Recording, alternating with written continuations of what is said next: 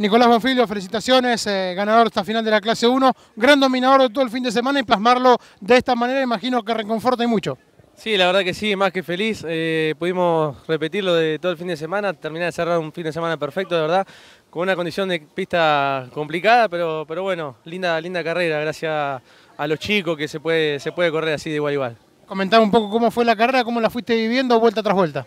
Eh, no, en algunos lados estábamos un poquito más complicado que, que pero, pero bueno, las veces que pudimos llegar a la par y todo allá, la verdad que, él me respetó, como yo a él, nos respetamos y, bueno, salimos un poquito complicado en una, en una curva, pero, pero bueno, no, la verdad que pudimos cerrar, la verdad que los chicos han trabajado en el auto, eh, la oreja, en el motor, eh, todo. La verdad que esto es gracias a todo el equipo que, que trabaja todo en conjunto.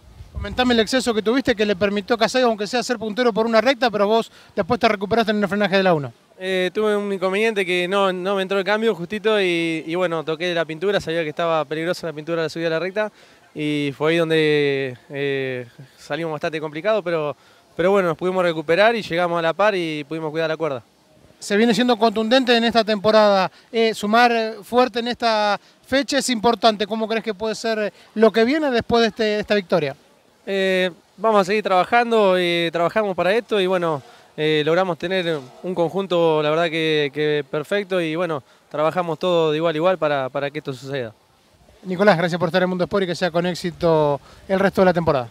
Bueno, muchas gracias y dejarme agradecer a, a Sergio y Pascuale por el motor que me ha entregado a los chicos, a Fran que me arma el auto de siempre, a Cristian Sibona que han laburado los chicos, a todos los, chicos, mi cuñado, eh, Marcelo Lori, mi viejo, eh, mi familia que me apoya desde allá de estar en la casa con los chiquitos y mi señora. Y bueno, mi viejo que la verdad que es el alma mater del equipo, Caldaya, eh, mucha gente que, que me apoya y hace que podamos estar acá.